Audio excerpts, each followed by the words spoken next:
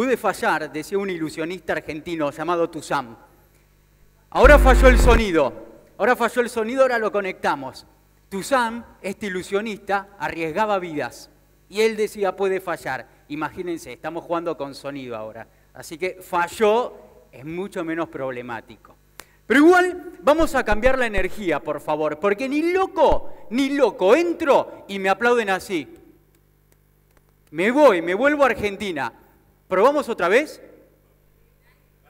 Te presento de nuevo, ¿te parece? Y no me digas Julián, decime, Evea, decime Julián. Julián. Claro. Perfecto. Porque esto después lo escucha mi mamá, le mando la afirmación y dice. Eh, Yo le puse el nombre, dice. Nueve meses poniéndole el nombre a mi hijo, pensándolo, y por, por un tango aparte.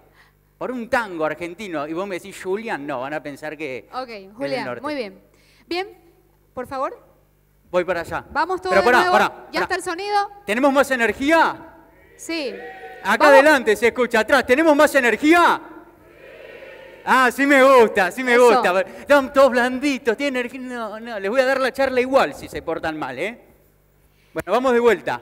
Bien, es momento de continuar con Exma Bolivia 2018. Tenemos un, un invitado de lujo, de primer nivel. Él es Julián, perdón. No, no, no, no, para, para. No sirve la presentadora. Para, para, para, Lo siento, lo siento, Julián. No, lo, peor de todo, ¿sabes qué lo peor de todo? Vea, está, está. El, está el contador Julián, aparte. Julián, Julián. Está el contador. Ah, no, no se vale. No, no, vale, no vale. Pongámoslo lo que corresponde. No le vamos a quitar minutos a Julián, ¿sí? De nuevo, es la última, Julián, vamos. Vamos. ¿Cómo se dice el nombre? ¿Cómo? Uy, me siento un actor, gracias. Yo ya me puedo ir, yo ya estoy hecho. Continuamos con más de Exma Bolivia 2018 y ahora es momento de escuchar a Julián González, el gaita. Es consultor en estrategia y gestión de empresas. especializado en el manejo del mundo PYME. Director del programa de ventas en la Escuela de Negocios UCA Argentina. Profesor de evaluación y preparación de modelo de negocios emprendedor. Señoras y señores, con ustedes Julián González, el Gaita.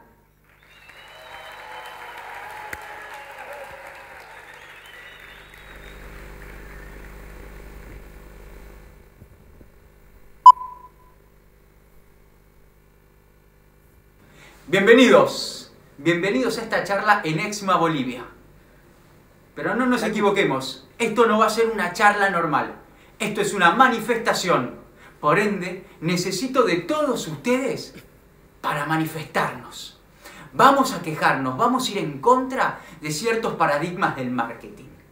Hoy al principal que vamos a atacar es al de cerrar ventas. Quiero que todos empecemos a hacer ruido como él. Tenemos que hacer ruido, nos tienen que escuchar. A partir de hoy vamos a prohibir cerrar ventas. Bienvenidos.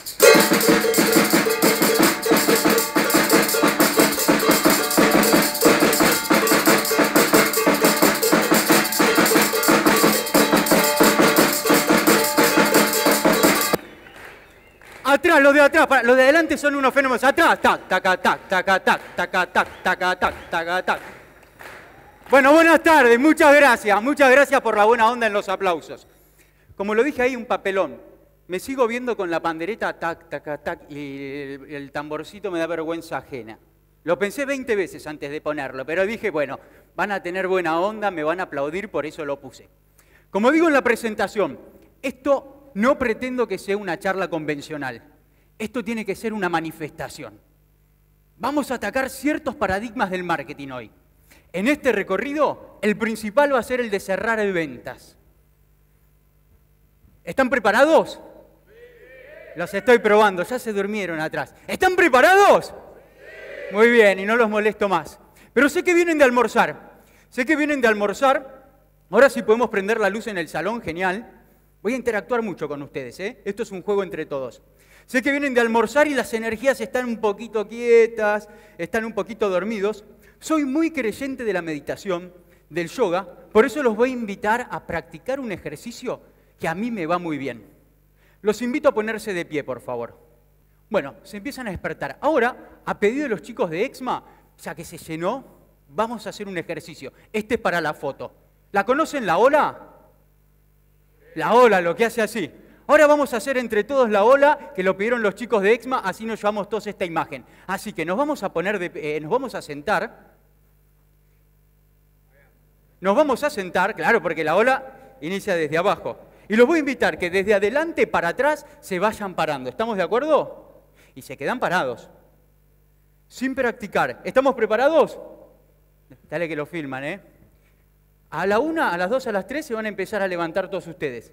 A la una, a las dos y a las tres. ¡Woo!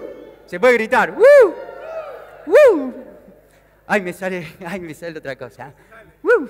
Se quedan, se quedan parados, se quedan parados, se quedan parados. Levantamos la mano derecha. Concentración, por favor. Esto es cosa seria. Levantan la mano izquierda. Van a poner la mano derecha en la cintura, la mano izquierda en la cintura, y van a empezar a hacer lo siguiente. Que se escuche. Pa, pa, pa, pa, pa. ¿Saben para qué es esto? Para que se corra la energía del traste.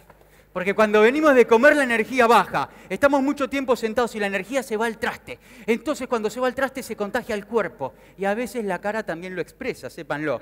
Entonces hay que golpearse, hay que golpearse y cambiar la energía y estamos despiertos y arrancamos. Muchas gracias. Bienvenidos a este recorrido. Vamos. Ahora vamos a viajar a París. Vamos a viajar a París, era un club de tenis.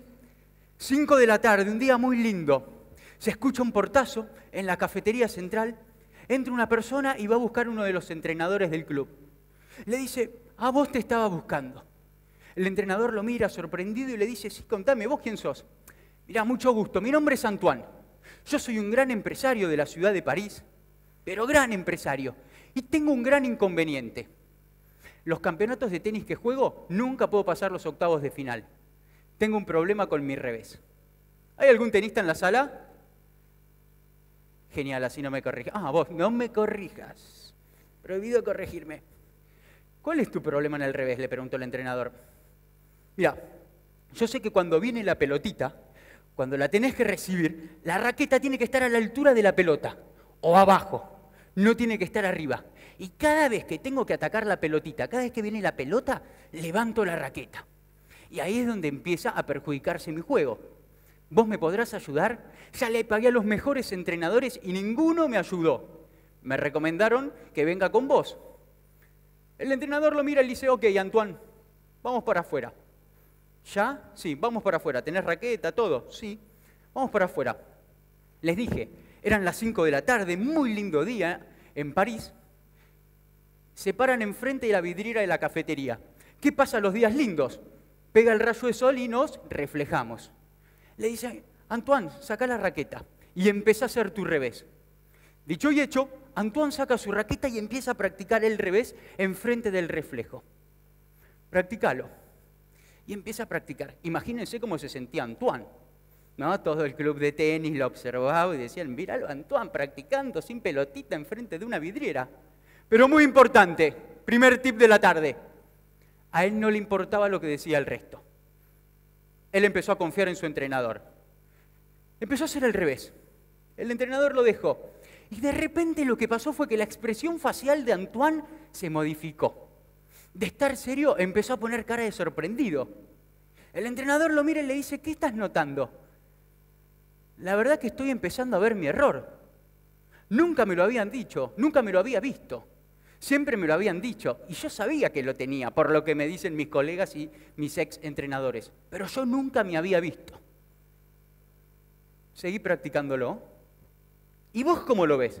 Le preguntó Antoine al entrenador. Y el entrenador pensó y dijo, si yo le digo que tiene el revés con su error, que levanta la raqueta, creo que voy a estar repitiendo la historia de los otros entrenadores. Por ende, voy a cambiar el sistema.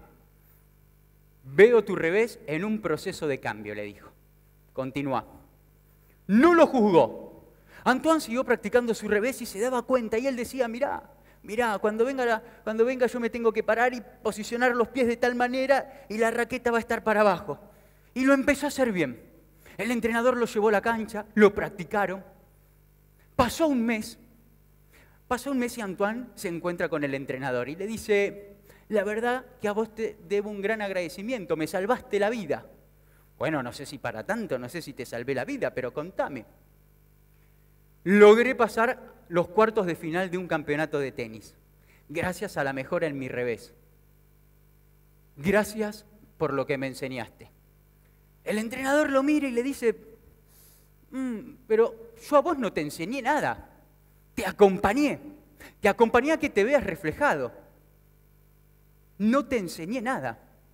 Y ahí fue, ahí fue cuando este entrenador, de hecho, después de esto sacó su propio libro, generó una teoría en la que dijo, me parece que las personas tenemos dos yo interiores. Alejémonos del super yo, del superego, de todos términos psicoanalíticos. Tenemos dos yo interiores. Uno es el ejecutador, el que va a las acciones, el que ejecuta, el que no tiene juicios, el que no tiene prejuicios, el que quiere actuar. Y tenemos un otro yo, que es el juzgador, que es el que critica, que es el que seguramente Antoine le decía cada vez que estaba con un entrenador, vamos, Antoine, sos un idiota, ¿cómo la estás pifiando en el revés? El que muchas veces cuando nosotros queremos hacer algo distinto nos dice, no, no podés, no podés, no estás preparado. Y así fue que este entrenador entendió que cuando aprendemos a callar la mente, cuando nos olvidamos de toda esa película que traemos, es cuando realmente estamos preparados para aprender, para cambiar.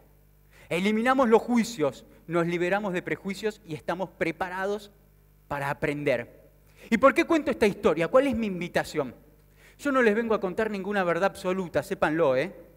Sépanlo, no les voy a contar ninguna verdad absoluta, no se van a ir, eh, no se van a ir con ningún tip revelador.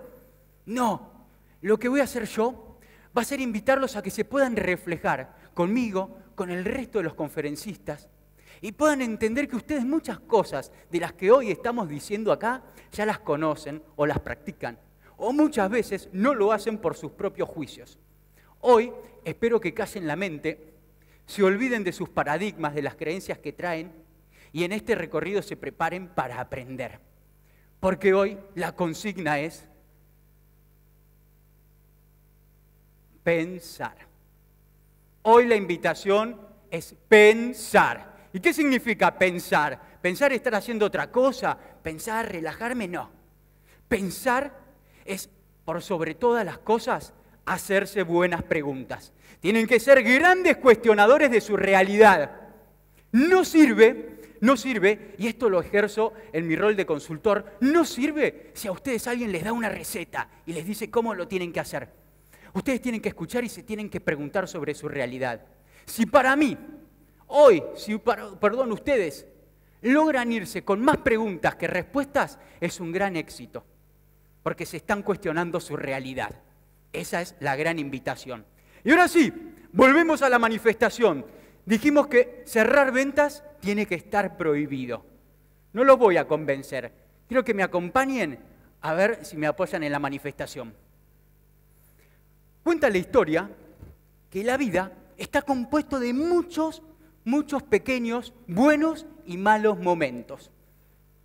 Por ende, si entendemos que la vida está compuesta por muchos de esos pequeños momentos, yo invito a que las organizaciones y nosotros desde nuestro puesto de trabajo empecemos a pensar en cómo involucrarnos en los buenos momentos de las otras personas, cómo lograr generar buenos momentos, aunque sean pequeños detalles, y de esa manera involucrarnos con la felicidad de las otras personas. Puede ser algo divertido y además muy gratificante para uno mismo. Pero ¿qué pasa? ¿Dónde tenemos hoy el foco puesto? Hoy creo que venimos arrastrando, como les dije, muchos paradigmas. Cuando estamos en el colegio, después en la universidad, compramos esos manuales magníficos que nos dicen cómo cerrar ventas. ¿A todos nos enseñaron cómo cerrar ventas? o leímos eh, manuales o estuvimos en clases que te dicen cómo cerrar ventas. Y bueno, hoy entiendo que no, que las ventas no se tienen que cerrar. Hoy vamos a tratar de romper ese paradigma. Hoy vamos a tratar de entender que las ventas no se van a cerrar. Tenemos que pensar en abrir relaciones. Pero atentos, ¿eh? Atentos, desde un lugar muy sencillo. Punto de partida, los momentos. Tengo un socio que ya estuvo en este escenario, Jonathan, que escribe para la revista Forbes. La conocemos todos a la revista Forbes. Forbes. Él lo invitaron a escribir en la columna de pymes. Y cada vez que le llega material, nos invita a todos sus socios a que elaboremos el contenido con él y analicemos toda la información que le dan. La revista Forbes lo primero que le dice es, no podés contradecir lo que nosotros decimos. Estudia todo lo que ya dijimos sobre pymes y vos empezás a escribir. El primer estudio que, hizo fue relacionado a las ventas, fue lo que cuestionaban tanto los vendedores. ¿Por qué motivo muchas veces los vendedores dicen que no se puede vender? ¿A quién le echan eh, la culpa? A los precios. Por precio, no vendemos por precio. Forbes se volvió un poco loco y dijo, vamos a investigarlo. Agarró un grupo de personas de consumidores, una gran muestra de consumidores, y les hizo una pregunta. ¿Por qué motivo dejas de comprar en la empresa que vos sos cliente? Solo el 15% de las personas, de los encuestados, respondió que no compraba por precio, que dejaba de comprar por precio.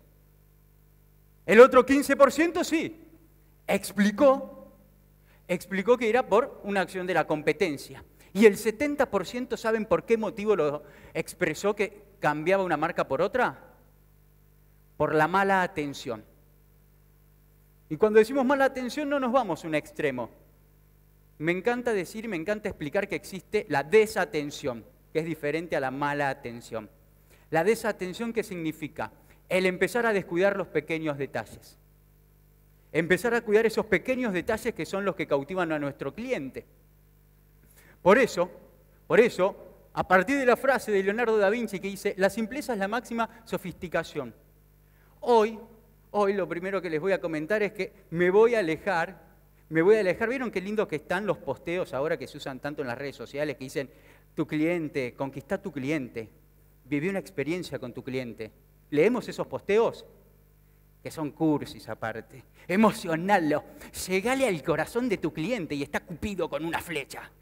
Y vos decís, pará, pará, está buenísimo el posteo, pero ¿yo cómo hago para llegar al corazón de mi cliente? Por eso creo que el punto de partida es atacar lo simple. ¿Cuántas veces entramos a un negocio, a un local comercial, a una empresa y el vendedor directamente no nos saluda? ¿A todos los saludan cuando entramos a un local? ¿Vieron que entras y muchas veces están atrás de un mostrador, de una vitrina y te están esperando así, serios?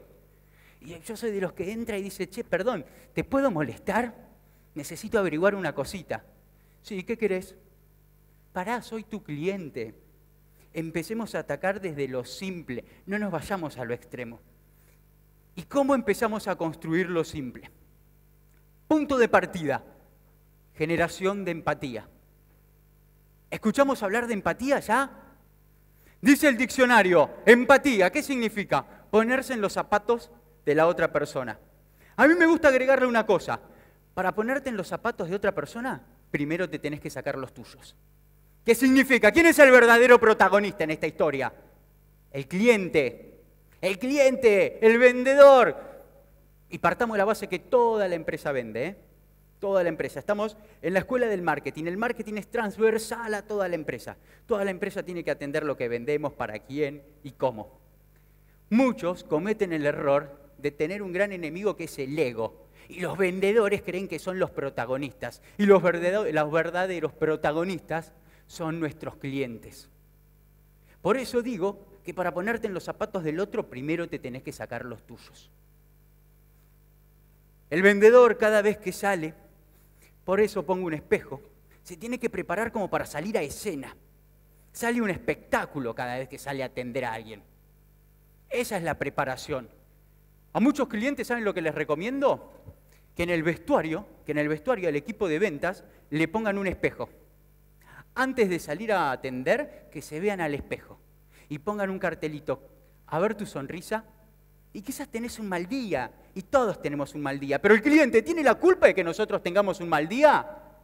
No, no, nosotros salimos a escena, tenemos que dar un show como vendedores. ¿Se imaginan ir a ver una obra de teatro? Un actor que está en una comedia y viene la parte de un chiste y no se ríe. O tiene que hacer el remate y te lo dice serio. ¿Qué pasa? Está fallando la obra. Lo mismo pasa cuando vendemos. Y entiendo por empatía que es empezar a tener la conexión con la otra persona, cuando empezás a conectar. Y se van a dar cuenta que me gusta contar un par de historias para explicar la teoría. Soy argentino, soy futbolero, me gusta mucho el fútbol. Antes de argentino en el fútbol soy hincha de River. Les cuento, lo, lo conocen, ¿no?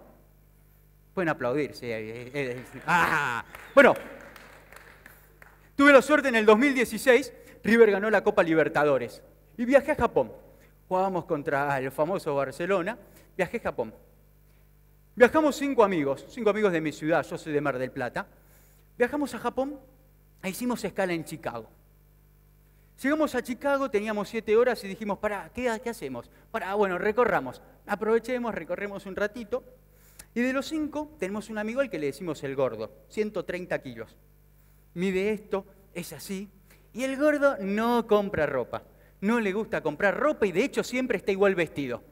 Bueno, vamos a pasear por Chicago y de repente llegamos a uno de los monumentos de Chicago que es el Nike. Vos te parás en la puerta del Nike, está la figura de Michael Jordan encestando, en esa que parece que vuela, y te dan ganas de entrar. Entramos todos, dijimos, bueno, vamos a dedicarle tres minutos a este recorrido. Así seguimos conociendo la ciudad. Cuestión, de los cinco salimos cuatro. ¿Quién faltaba? El gordo. Lo mismo preguntaron mis amigos, ¿y el gordo dónde está? Y me miraban a mí, Gaita, ¿el gordo dónde está?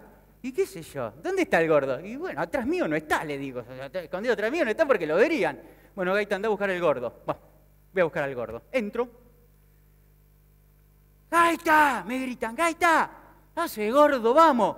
¿Qué vamos? me dice. Mira todo lo que me estoy comprando. El gordo apareció cargado de zapatillas, remeras, pantalones. Él nunca compraba ropa. Gordo, ¿qué estás haciendo? No, no, qué sé yo.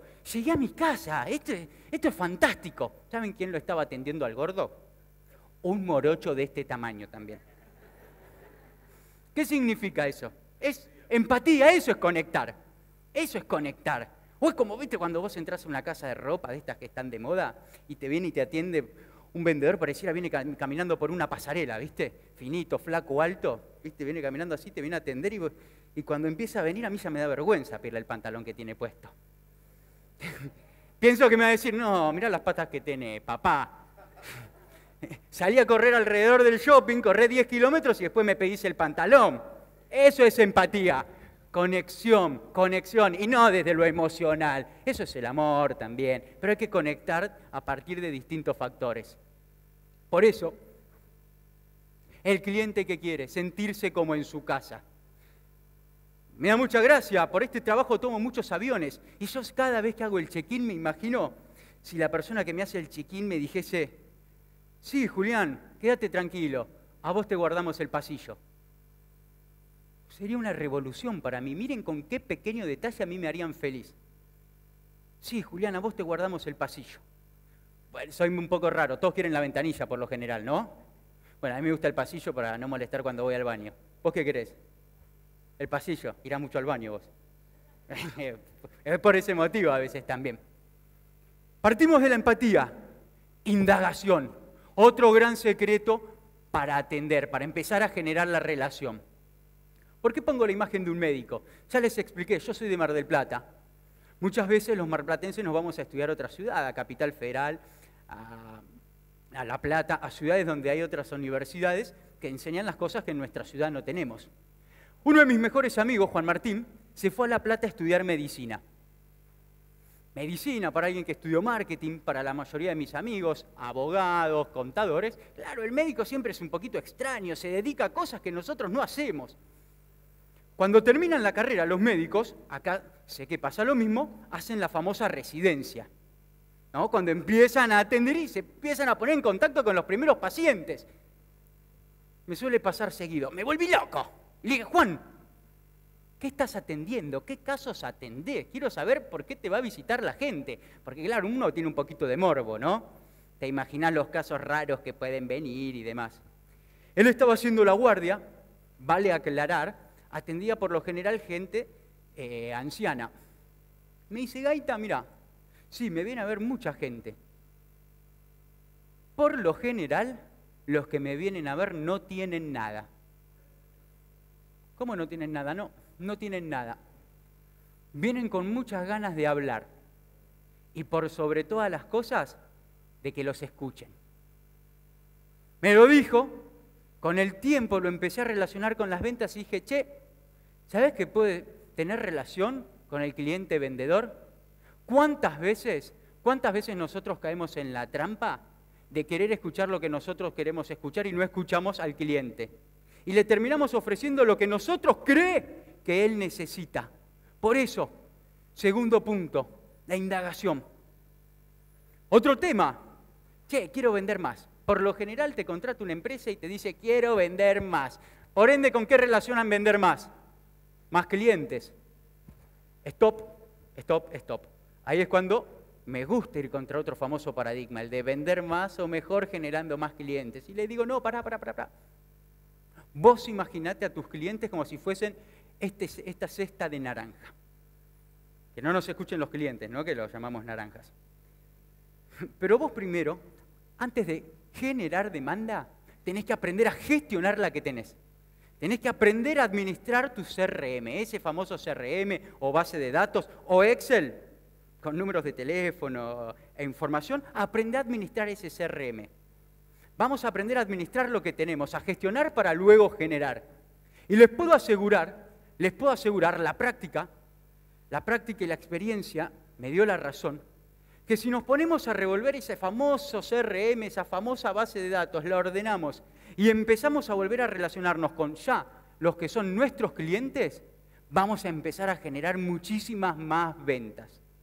¿Para qué? ¿Para qué vamos a, generar más, más, demanda, más clientes? Si tenemos un montón adentro de la empresa, tenemos un montón de información.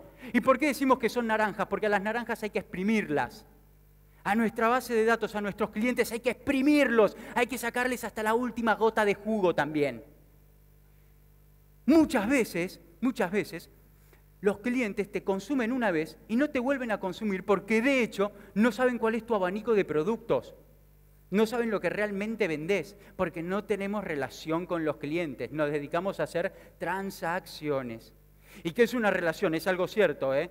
No vale con relación, le mando un mail para el día de cumpleaños, lo saludo. No, eso no es relacionarte. Relacionarte es pensar de manera proactiva, sorprenderlo al cliente. Tenemos que generar detalles sencillos que sorprendan a nuestro cliente. ¿Cuántas veces, cuántas veces a ustedes lo llamaron y les preguntaron, che, ¿cómo te fue con lo que te vendí? ¿Qué tal fue la experiencia? A mí muy pocas veces, muy pocas veces, y con muy poco podemos generar relación. ¿Y saben cuál es la inversión incluso? Un café. La mayoría de las veces un café. Llamar a ese cliente, ese famoso cliente que es el que nos ayuda a mantener nuestro punto de equilibrio, el que nos ayuda a mantener la empresa y nosotros no nos estamos relacionando, llamarlo y decirle, toma, te invito a tomar un café.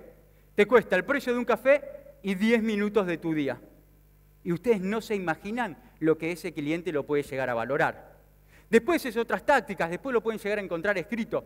Este es un análisis que hicimos en la consultora. CRM, diferenciar los clientes según sus grados. Tener el grado 1, ese cliente que te compra al menos el 70% de su potencial. ¿Qué significa? Este es el cliente que nos tiene que cubrir nuestro punto de equilibrio. Este es el cliente con los que nos tenemos que relacionar.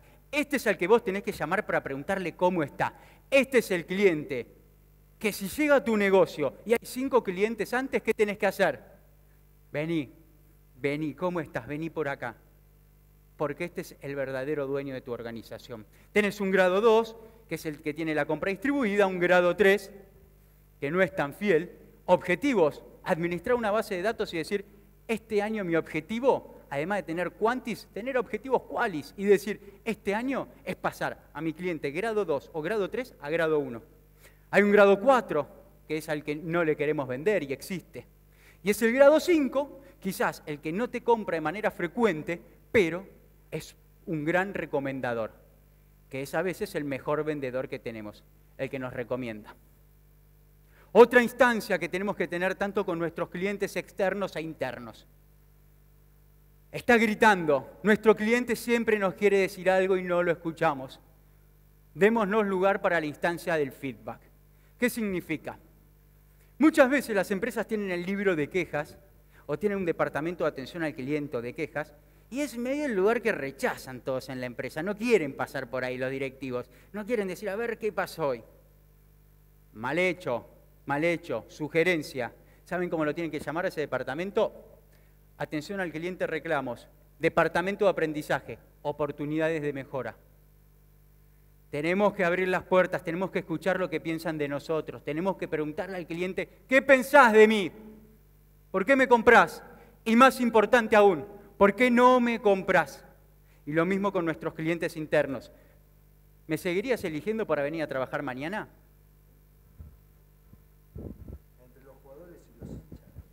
Tenemos un viejo contrato que dice así, nosotros dejamos la vida y ellos alientan sin parar.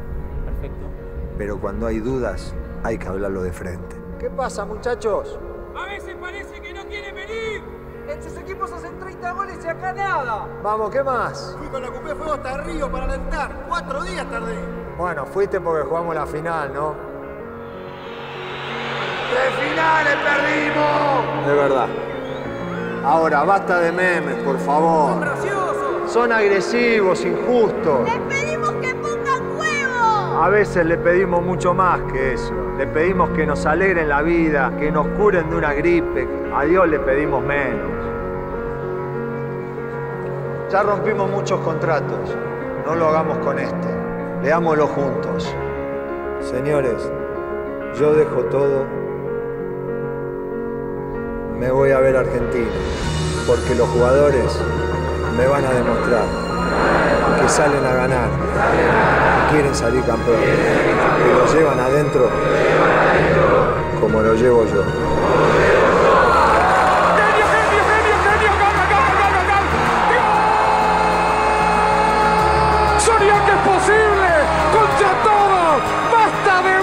Y de críticas! ¡Vamos Argentina! ¡Pero que viva el fútbol! ¡Argentina! Lo veo y me sigo emocionando. Miren si estará de moda el feedback, que hoy las publicidades a partir de qué se gestan, de sus puntos débiles. La selección argentina, un caso emblemático, ya se viene el Mundial, se dedicó a no escuchar lo que pensaba la gente, como esta cerveza, la Quilmes, se dedicó a no escuchar lo que opinaba el público. Y así se perdían muchísimas ventas. Hoy, muchas marcas que compiten con otras mano a mano, se están dedicando a preguntarle al cliente, ¿qué es lo que realmente opinás de mí? Y sabes qué? A esos puntos débiles los voy a atacar y los voy a tratar de mejorar. Más vale que hablen, bien o mal, pero que de ustedes siempre hablen. Así decía Salvador Dalí, lo peor que nos puede pasar es estar solos. Por eso, empezamos a hablar de una fórmula, una fórmula que se me cambió. Pero bueno, procesos. Váyanse acordando, se me cambió el slide, perdón. Pero bueno, vamos a aprender una fórmula en este recorrido que es, es esta charla. Acuérdense, tenemos una P más C, no sabemos qué es la C y no sabemos cuál es el resultado.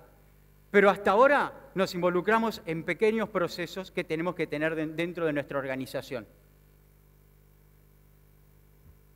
Por eso entiendo que si generamos procesos es lo que nos va a hacer poder generar empatía, poder relacionarnos de mejor manera con nuestro cliente a largo plazo. Y esto realmente es lo que diferencia a las pequeñas de las grandes empresas, sus procesos. ¿Cuántas veces queremos entrar a una pyme, un pequeño negocio y, che, ¿qué tengo que hacer? Lo que puedas, empezá a acomodarte. ¿Cuánto tarda cambiar el personal en las pymes? Muchísimo, porque más que organizaciones muchas veces son desorganizaciones. En cambio, entramos a una gran empresa, automáticamente que te dan un manual de instrucciones y te dicen, vos tenés que hacer esto. Producir genera valor en este puesto. Por eso, punto de partida, para generar esta fórmula, pensemos en nuestros procesos. ¿Lo conocen? ¿Lo conocen? Hoy viene el último speaker, nos va a hablar y mucho de él. Walter Elías. Walt Disney. Un día entró Steve Jobs a su oficina, le preguntó a su equipo, ¿saben quién es el mejor contador de historias? ¿Cuál es la empresa con la mejor historia? ¿Saben lo que le respondió a su equipo? Vos, vos, cobardes, vos. Y él dijo, no, no, no, no, no soy yo. Es el señor Walt Disney. Walt Disney. ¿Está de moda hablar ahora de storytelling? ¿Han oído hablar de storytelling? Eh, Pero yo siempre me pregunto, ¿es una moda o una tendencia? Ya venía el storytelling, ya existía en español, que es historia. ¿Cuál es el secreto de las historias? Y el señor Walt Disney se dedica a explicarlo. Las historias no se crean, no hay que crear todos los días una, una historia para seducir a un cliente. El secreto de las historias es saber cómo contarlas todos los días. El secreto de tu historia no es crear algo lindo para enamorar al cliente y generar experiencia. No, no, no. A mi manera de ver, la historia tiene el secreto en que es la misma historia todos los días. Y el personaje principal de esa historia es el cliente. Por eso, esta empresa, Walt Disney, y hoy lo vamos a escuchar, un gran referente, al último speaker, se dedica a contar la misma historia hace años y todos los días cuenta la misma historia. Por ende, toda la organización se cree esa historia, vive esa historia, donde el cliente es el mayor protagonista. Y creen en la venta, creen en la venta no como un cierre, como un punto de partida. Bueno, pero a ver, a los que no nos gusta comprar ropa, vos le comprabas zapatos a esta empresa por la web y le pedías de a 5 o 10 pares de zapatos. No les miento, ¿eh? Vos pedías cinco pares de zapatos. Me gusta este, este y este. ¿Cuánto calzás? Te preguntan. Tal número. Pero mándame el más chico, mi número y el más grande. Así me lo pruebo en mi casa. Nah, es imposible. Bueno, esto es verdad. Pasó y sigue pasando. Te mandan los zapatos. ¿Sabes cuánto tiempo tenés para devolverlo? Un año. Un año. Vos te pedís esos tres pares de zapatos, te probás el que te guste y si no te gustó ninguno, tenés un año para devolverlo. Se empezó a hacer hiper famoso. Para colmo, gran gestionador de equipos, todo el mundo quiso empezar a trabajar en su empresa. Le hicieron una vez una nota para la televisión y le preguntaron, la verdad usted es fantástico, lo queremos felicitar. Usted es un gran delivery, como vende por internet, es un gran delivery de zapatos. Rompió el mercado, todos quieren trabajar con usted. No, no, no, no, no, no, te estás equivocando, dijo el dueño de la compañía. Yo no vendo zapatos. Yo soy un delivery de felicidad. Oh, otro posteo web, ¿no? Otro posteo que queda divino en la web. No seas delivery de zapatos, sea un delivery de felicidad. Queda buenísimo. Vamos a comprobarlo, dijo. Te invito a que llames a mi empresa y encargues un par de, un par, no de zapatos, de lo que vos quieras. Llama a mi empresa y fíjate cómo te atienden. El periodista llamó a la empresa, hola, ¿qué tal? Sí, ¿qué tal? ¿Qué, zapato le gusta? ¿Qué zapato necesita? No, no, no, no te llamo por un par de zapatos. La verdad que son las 8 de la tarde, quiero comer una pizza. ¿En qué localidad se encuentra, señor? Tal, tal lugar. Bueno, en cinco minutos me voy a estar contactando por usted y le voy a contar las opciones de pizza que tienen. A los cinco minutos llamaron a la casa del periodista y le dijeron, mira, tenés estas opciones por tu barrio ¿Cuál elegís? Nosotros te la encargamos. ¿Vendía zapatos realmente entonces, sapos? No, se encargaba, se encargaba de escuchar al cliente y atender sus necesidades. Obvio no lo llevemos al extremo, ¿no? Porque nos tomamos a pecho esto y volvemos locos a todos los vendedores. Pero para entender el concepto, entender que hoy para generar esa relación tenemos que hacer el foco en cómo, cómo vendemos y no en qué vendemos. ¿Y qué lograba generar? El famoso wow, la famosa, la famosa cultura wow dentro de una empresa. Cultura de atención al cliente. Y pongo esta imagen, pongo esta imagen, y es la última vez que me atrevo a hablar del mundo de Disney, porque el año pasado tuve la oportunidad de estar en el instituto de Disney, donde vas a estudiar sobre la experiencia y cómo ellos generan esa magia en el detrás de escena. Estás una semana de manera intensiva capacitándote, lo primero que te enseñan son los procesos. Sin procesos no hay magia. Y llega el último día y te dicen, bueno, llegó el examen práctico, se sacan todos la credencial y a recorrer el parque. Tienen que ir a recorrer el parque y encontrar errores. Me encantó. Lo primero que pensé, hoy le gano al sistema, hoy le gano a Disney, me voy a buscar el error. Tarde, mucho calor, llego, compro un agua. La persona que me vende el agua ni me saluda.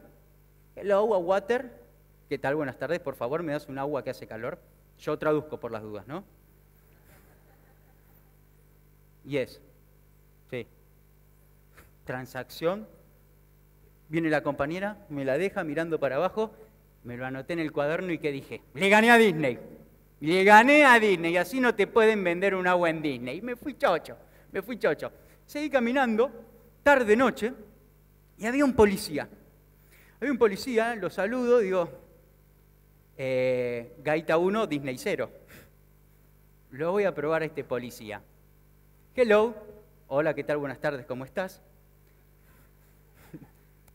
Por las dudas, pues, no sé si todo, ¿no? Eh, Si bilingüe. Hello, what's your name? Me pregunta, muy simpático. ¿Qué tal? Buenas tardes, ¿cómo te llamas? Eh, Julian, el gaita. Ah, bueno, mucho gusto. Where are you from? ¿Viste lo linda que está la tarde? Está todo cuidado. ¿Vos de dónde sos? De Argentina, le digo. Oh, Argentina, just a nice place. Y empieza a hablar un poquito. Y la verdad que muy buena relación con el policía. No pasó de eso, doy la vuelta, lo saludo y me voy. Digo, bueno, acá la verdad que es un 0 a 0, no hay punto para nadie. Camino unos pasos y de repente escucho un... Para mí, dije, me doy vuelta y el agente llamándome. Gaita, come on. Che, Gaita, venite, venite, arrimate un poquito. yes. A partir de ahora, a vos te voy a dar una misión. Me quedo helado yo. A partir de ahora, vos te voy a dar una misión. Saca de su bolsillo y vieron que los policías tienen su chapa, su chapa de policía.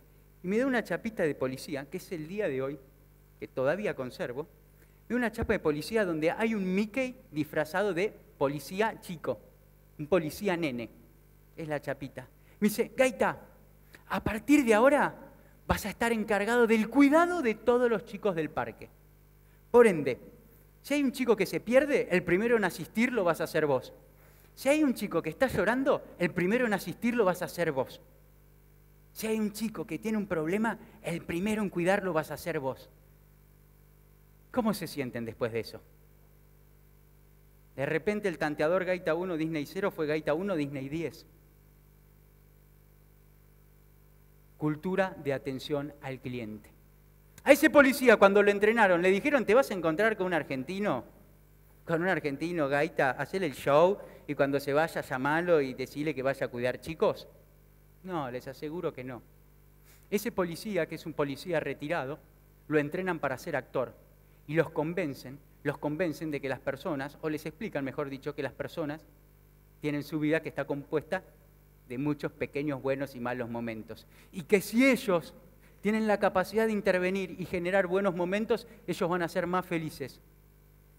Y si ellos son más felices, por ende, el general es más feliz. Y de eso se trata, generar una cultura de atención al cliente. ¿Y saben cómo se genera esta cultura? Hay una gran frase que dice, el mayor activo de las empresas son sus personas. Y discúlpenme, me parece otra gran mentira del marketing.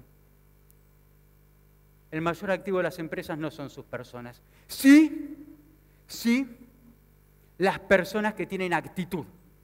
Sí, las personas que se esfuerzan. Sí, las personas que cuando vos las subís, vos las subís a tu carro, van para adelante con vos.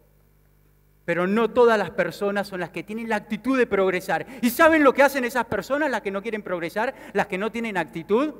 Molestan al resto. Y muchas veces el que quiere trabajar se distrae pensando al que no recriminan, el que tira para atrás en el equipo, el que no quiere formar equipo y se distrae de su objetivo principal. Por eso, tengamos cuidado con las verdades, con esas películas que nos cuentan. Antes de invertir, hay que pensar y hay que invertir. Antes de hacerlo, fíjense con quién lo hacen. Y antes de poner plata, pregúntenle a las personas, sean grandes preguntadores, che, ¿estás cómodo en el puesto que estás? ¿A cuántos les preguntan si están cómodos en el puesto que están? O si realmente quieren ascender o no. Y después sí, piensen e inviertan en marketing para sus empresas. Esta es la cuna del marketing. E invertir en marketing no es solo administrar y generar demanda externa, sino es cuidar a tu cliente interno. Porque realmente lo que el marketing hace es hacer que tanto tu cliente externo como tu cliente interno al otro día te vuelva a elegir. Por eso, seguimos completando la fórmula y ya dijimos que la P eran procesos. Necesitamos de procesos y necesitamos de cultura. cultura de atención al cliente. Y discúlpenme, ¿eh? la cultura tiene que ser rígida. No es lo mismo una cultura mala que se dedica a sancionar que una cultura rígida. ¿Qué significa? Hay que acatar la cultura empresaria y así, y así es cuando vamos a lograr llegar a destino, vamos a llegar a cumplir nuestro objetivo, que ahora vamos a ver. Para esto hay que tener paciencia. Ya lo sabíamos todos, ¿no? El significado paz y ciencia. Ah, me quise hacer el, el descontracturado con la palabra, pero ya lo sabemos todos. Pero bueno, hay que tener paciencia. Las personas, lamentablemente, caemos en una gran trampa, que es la de la ansiedad. Ojalá la vida, ¿por qué pongo una montaña rusa? Ojalá en la vida, cada vez que queremos cumplir un objetivo, sea como subirnos a una montaña rusa. ¿Les gustan las montañas rusas? Yo les cuento un secreto. Hace, bueno, el año pasado y había estado antes en Disney con mi novia, yo sufro de vértigo. Yo sufro vértigo. A mi novia no, le gustan todas las montañas rusas, le gustan las alturas. Y yo no, no me gustan, ¿viste? Digo, ¿para qué sufrir? Yo la paso bárbaro acá en tierra. Pero bueno, era uno de nuestros primeros viajes juntos, no le podía decir, no me subo. ¿Qué nos pasa? ¿Por qué hago el paralelo con la vida? ¿Vieron cuando estás en la fila de la montaña rusa? ¿Qué es lo primero que empezamos a decir muchos? ¿Qué hago acá? Y empezás a mover el piecito nervioso, ¿no? ¿Qué hago acá? Y la transpiración, la gota te empieza a caer. ¿Qué hago acá? Y sigue avanzando la fila. En la vida muchas veces nos ponemos ciertos objetivos, queremos llegar a cumplir esta fórmula en nuestras empresas, y nos agarra esa ansiedad. ¿Y qué pasa? Estamos en esa fila y te escapas. No llegas a la montaña rusa, no llegas al vagón que ya te empezás a bajar. En cambio, cuando estás en la fila de la montaña rusa, ¿te podés escapar? No, no, porque te está viendo todo el mundo. Llega el vagón de la montaña rusa y claro, el que desconfía, viste, ves los tornillitos, escuchás los gritos y decís, ¡ah! ¡Uh! Se escucha y decís, ¿por qué me voy a subir?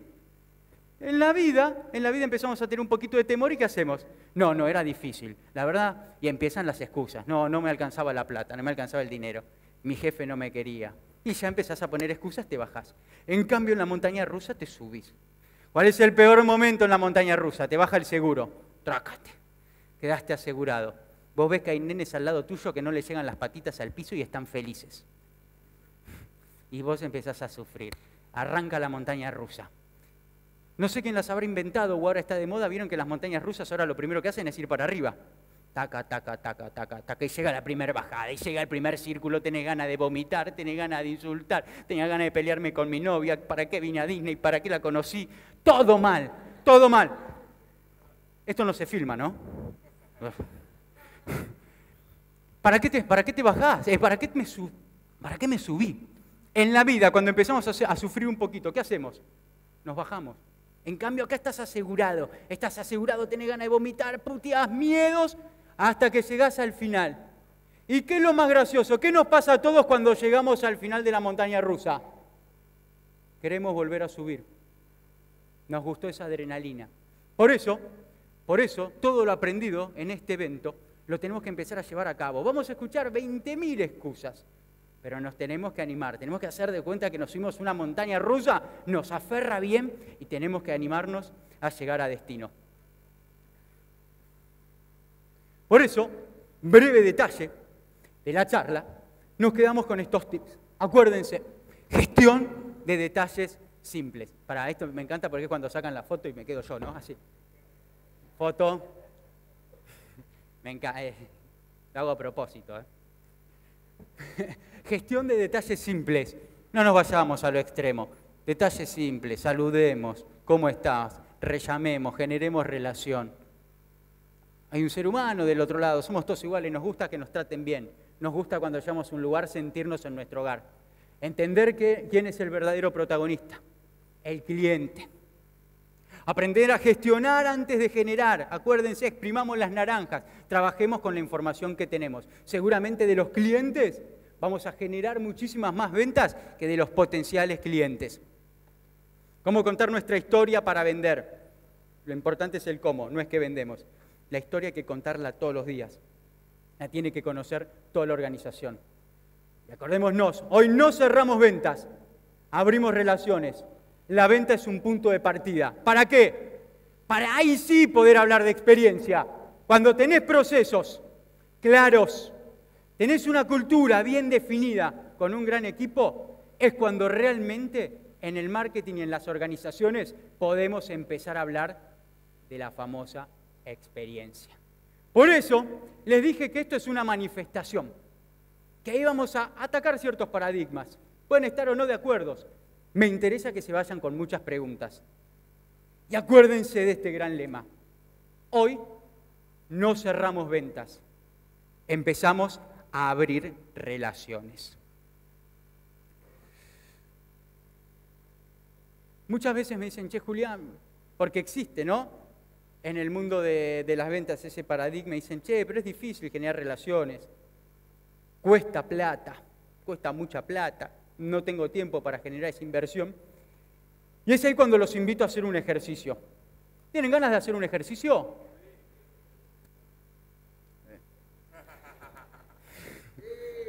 ¿Tienen ganas de hacer un ejercicio? Ahí va, ahí va, ahí va. Cortame la, la parte que no se escucha, cortala en la edición. Bueno, los invito a ponerse a todos de pie.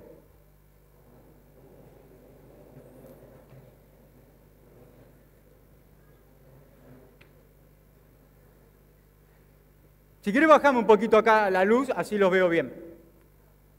Bueno, los invito ahora, los invito a todos ahora a saludar a la persona que tienen al lado.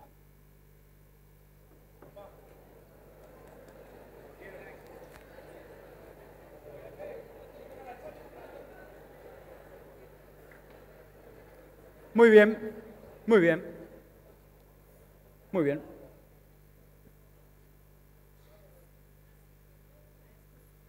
Muy bien, el saludo power ahí, pero que tenga explosión. Bueno, ahora los voy a invitar a hacer otra cosa. Al que quiera lo invito puede cerrar los ojos. Los quiero invitar a viajar un poquito en el tiempo. Recordemos, los voy a invitar a viajar en el tiempo, vamos a viajar algunos 15, otros 20, otros 25, otros 30, otros más años para atrás. Vamos a viajar a cuando estamos en la época de colegio. ¿Se acuerdan de esa época de colegio donde todos creo éramos tan inocentes. Y en esa inocencia y en el colegio siempre tenemos ese compañero, esa compañera que era cómplice de aventuras. ¿No? Esa persona con la que aprendiste, a la que ibas a la casa, ¿no? Compartías las tardes, pasabas horas y horas y horas, era tu gran confidente. Pasó el tiempo, pasó el tiempo, y pudo haber sido esa persona, como también existen otro tipo de personas. Muchos le ponen un nombre, que es el de alma gemela, me imagino que más de uno de ustedes, como yo en su vida, se ha cruzado alguna vez con una persona que te dijo algo que te marcó para siempre. Esa persona que vos después no tuviste relación, pero te dijo algo en el momento justo que te marcó para siempre. De esa persona que vos nunca te vas a olvidar y que quizás nunca tuviste la oportunidad de agradecerle. Ahora, los invito a imaginarse que estamos saliendo de Exma, estamos caminando por la calle y de repente viene caminando esa persona, ese amigo de la infancia que nunca más viste, o esa persona que te marcó, que vos nunca le pudiste decir gracias, pero es el día de hoy que te dejó esa enseñanza de vida que te ayuda a ser mejor persona. Entonces ahora los invito a hacer de cuenta que se encuentran con esa persona que hace años que no ven y se saluden se pueden saludar con la persona que encuentran afuera. Pueden abrir los ojos y los invito a recrear ese momento. Me está costando, ¿eh? Los invito a recrear ese momento, a hacer de cuenta que se encuentran con esa persona que hace muchísimos años que no ven, que nunca le pudieron decir gracias, o con ese pequeño amigo del colegio que hace años que no ven. Los invito a saludarse con esa persona.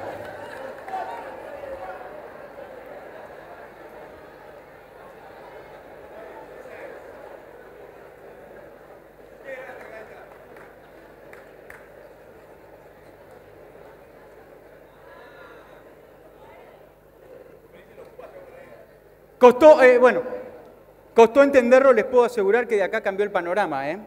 De acá cambió el panorama. ¿Vieron cómo cambió el saludo? ¿Vieron cómo de un simple hola, ¿qué tal? te pudiste abrazar? ¿Vieron cómo pudimos de repente, aunque haya costado un poquito, ¿eh? llegar a la emoción de las personas? ¿Cuánto costó? Cero. Cero. Todavía tenemos la chance de llegar a relacionarnos con la otra persona, volver a conectarnos con otra parte de nosotros mismos y vieron que la inversión es sencilla. Cuesta cero dólar, cero pesos, cero bolivianos. Ahora sí, la verdad que fue un gran placer y les voy a hacer una gran pregunta antes de, de despedirme. Porque dije que esto es una manifestación. Nos íbamos a manifestar e iba a ver, no los iba a tratar de convencer, pero sí de explicar mi teoría y ver quién a partir de ahora se suma a la manifestación de prohibir cerrar ventas. Le voy a pedir que levante la mano, por favor, a quién a partir de ahora está de acuerdo que las ventas debería estar prohibido cerrarlas. Que levante la mano, por favor. Qué linda que se ven las manos. Y ahora si tienen energía, le voy a preguntar, ¿quién está de acuerdo en que las ventas se prohíban cerrar? No se escucha, no se escucha, energía, energía. ¿Quién está de acuerdo en que las ventas se tendrían que prohibir cerrar? ¿Las ventas cómo debería estar? Prohibido cerrarlas. Entonces, cerrar ventas, ¿cómo debería estar? Prohibido. Cerrar ventas, ¿cómo debería estar? Bueno, vamos a ver, para que nos escuchen todos, lo vamos a acompañar con un poquito de movimiento, como al final, con un poquito de ruido. Entonces, para que nos escuchen todos, cerrar ventas debería estar... Un poquito de ruido, vamos, vamos, vamos, un poquito de ruido. Le dije que es una manifestación. Y ahora me pongo la gorra.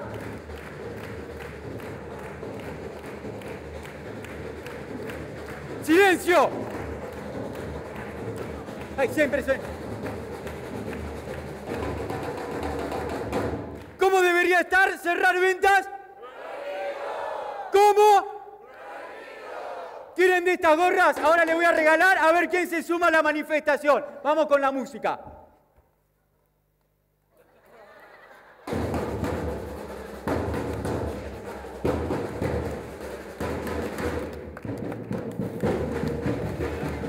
Para quien se quiera sumar, vení, ayúdame, vamos a tirar gorras.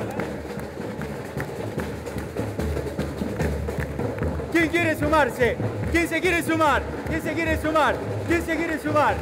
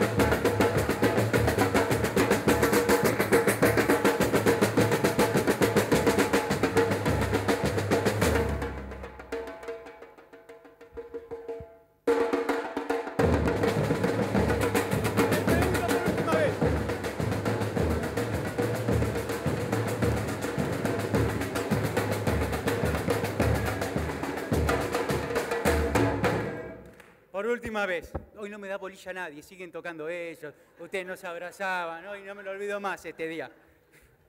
Y lo peor de todo que lo voy a preguntar y tengo miedo que, se, que la erren. Me digan, liberado, liberación. ¿Lo preguntamos por última vez? ¿Ruido antes?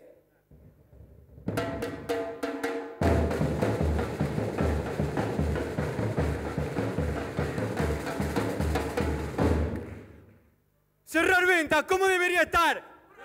Ahí va, chao.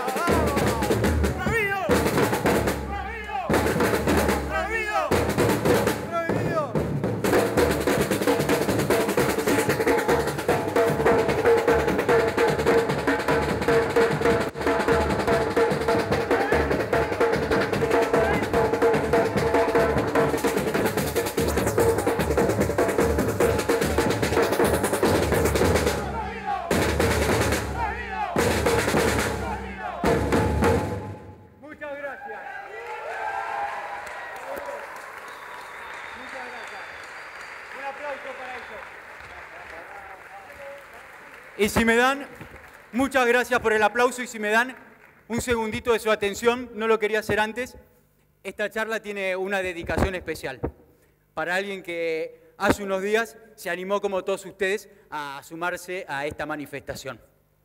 Hola, soy Alfredo Benítez, speaker de EXMA, y yo me uno a la manifestación de prohibido cerrar ventas. Una dedicación especial para Alfredo que de algún lado nos está viendo y aplaudiendo a todos. Gracias.